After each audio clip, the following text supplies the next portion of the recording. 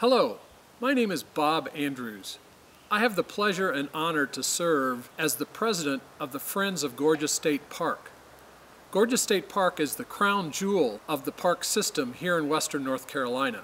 Today, I had the opportunity to speak with Sean McElhone.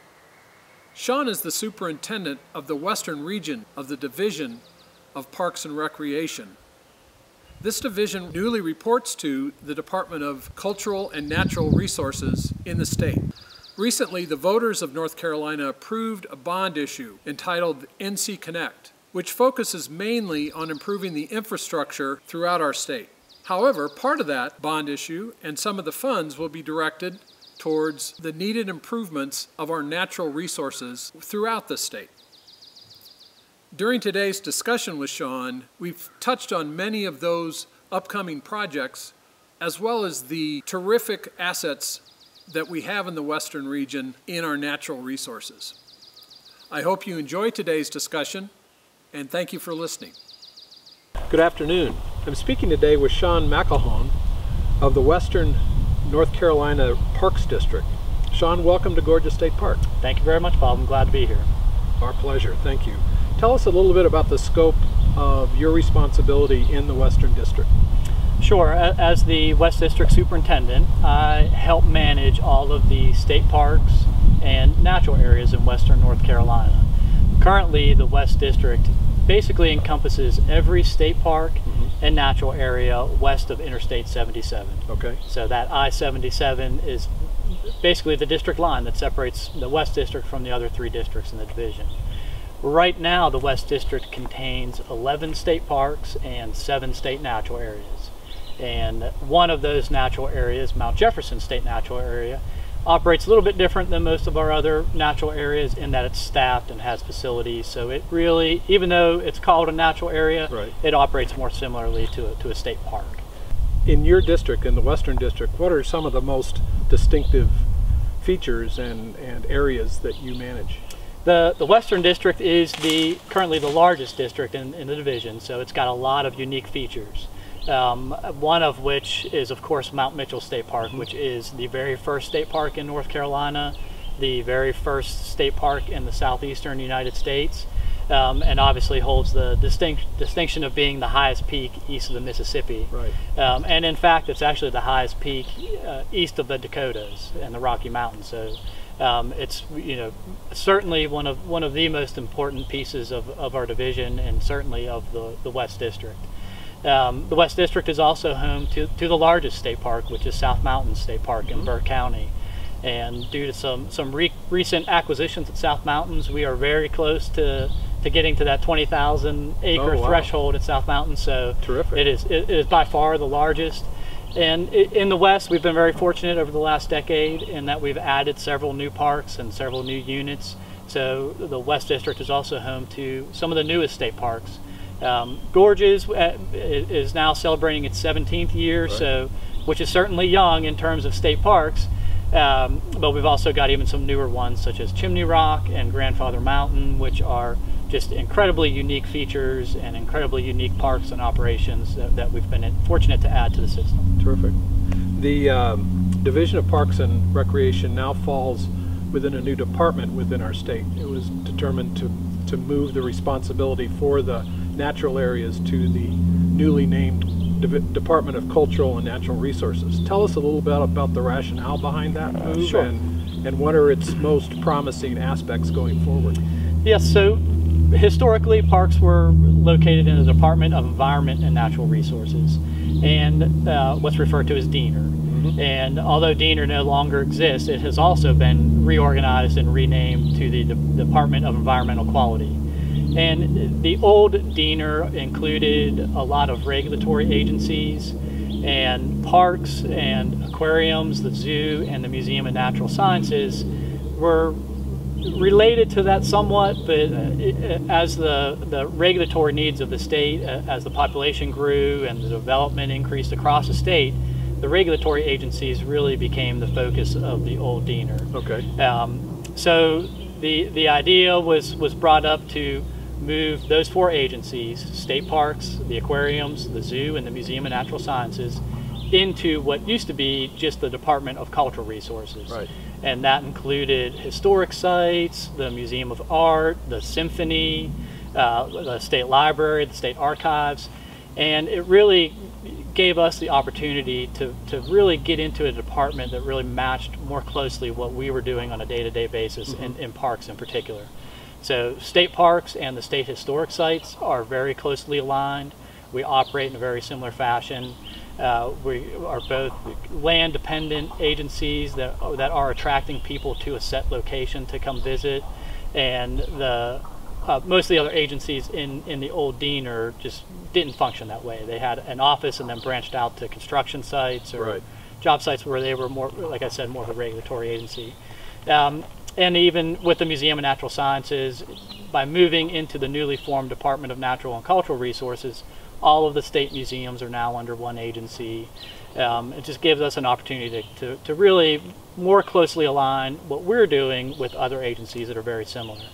Well, it sounds like that you're also able to learn best practices uh, as well. So things that work for the museums to attract tourists and the public at large. Um, sounds like you want to learn what they've done well and apply it to the natural resources. Ab- ab- absolutely. There's a lot of things that, that we do really, really well in state parks, but that doesn't mean that we don't have room for improvement and room to grow. And there are a lot of things that the folks at Cultural Resources do very well themselves, and they've got a lot of experience operating these attractions. And we really hope that, that uh, just like you said, Bob, we can learn from them. They can learn some best practices from us. Absolutely. And it'll also give us an opportunity to share resources, whether that's equipment or uh, uh, just staffing, um, and you know, really kind of share those resources a- among similar sites and some locations that are nearby one another, and really become more of an, an efficient department overall. Great.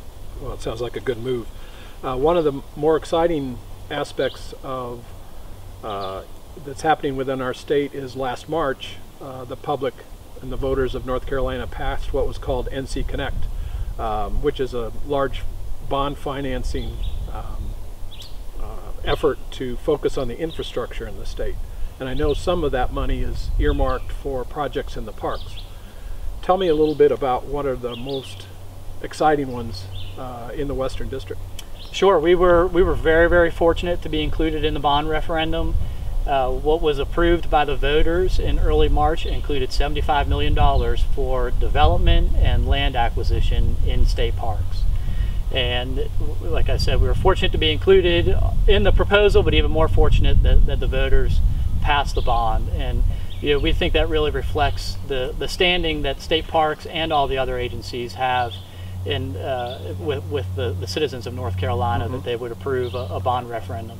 Um, of that, that 75 million, two of the, of the projects that I'm most excited about in the West District, one is right here at Gorges, mm-hmm. which will be a, a new campground, which the park desperately needs. It's one of the biggest demands that we get from park visitors and will really serve a need for the park and for the greater region and, and the, the area around Gorges. Uh, so that that's one that I'm certainly most excited about, and the other will be a visitor center at Lake James State Park. Oh, great. As Gorges has has benefited so much from the visitor center here, these, these visitor centers are really really serve a, a, a great uh, need for the park staff, but also but more importantly for the park visitors. Gives them a central location where they can come and congregate during educational programs, special events, have a point of contact to come and ask questions, and uh, really every park needs to have something similar to that in, in their, their operations that they can benefit from as well. So in, in the West District, the two that, that really stand out to me are the campground at Gorges and the, the visitor center at Lake James. Well, focusing on those two for a moment, what are uh, what are the plans in terms of timing and rollout of these and maybe some of the others? Sure. So we're, we're hopeful that we'll receive the first uh, segment of, of the bond money in August of this year, at which point we will go into the design process for the, those projects that were selected during this, this first tier, and which will include Gorges and Great. Lake James. Um, those first parks will also include a parking lot expansion at Crowder's Mountain and a parking lot expansion and trail development at Chimney Rock. Oh, much needed. So the the larger plan is to develop or, or spend that money over a five-year period. So this coming August, we'll be starting the design process on the those projects that were selected first, and then the following year we'll move into the construction process. And that second year, as we move into the, the construction portion of the first projects, Right. we'll also start the design process on the, the second second tier projects. So Terrific. It, it's going to be a lot of work. Uh, certainly, is going to be a lot to keep up with. But again, it's a, a, a, such a such a benefit to all of our parks and the division as a whole to have that seventy-five million dollars. Absolutely. Um, some of the, talking about those projects in specific, as well as other things that you're facing, what are some of the biggest challenges facing the division over the next 18 to 24 months? Sure. Well, our, our, our attendance at all of our state parks division wide has, has gone up almost every single year. For the past seven years, we have either set a new record or tied the previous record for attendance. So state parks are very well loved. They are very well visited. Um, so that that is definitely one of the challenges that we're faced with is trying to keep up with the expectations of what our visitors have of what the state park is to them and what it means to them. One of the biggest things that, that is certainly most helpful to, to almost all of our parks is to have an active support group such as the Friends of Gorges, uh, but also to have an active volunteer program at each park. There are a lot of things as the attendance increases in our parks that our park staff just aren't able to keep up with. And that might be things like trail maintenance or offering educational programs in the parks or just even serving some of the basic needs in our campgrounds.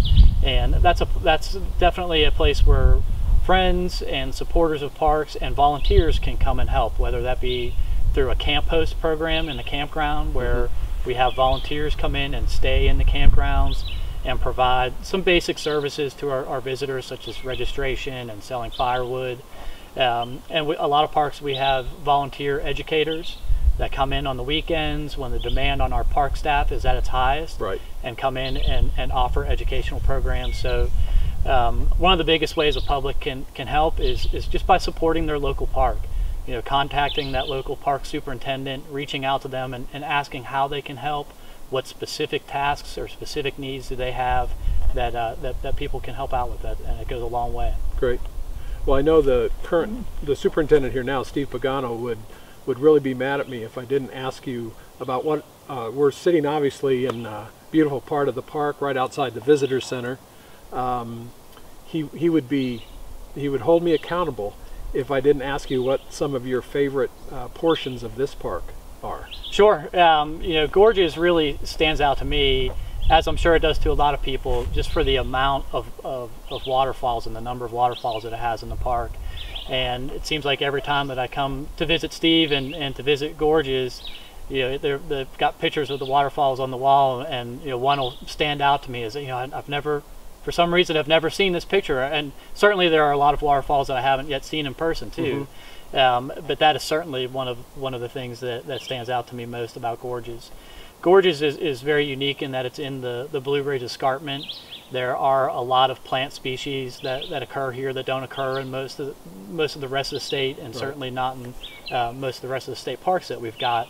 So biologically, it, it's a very rich location.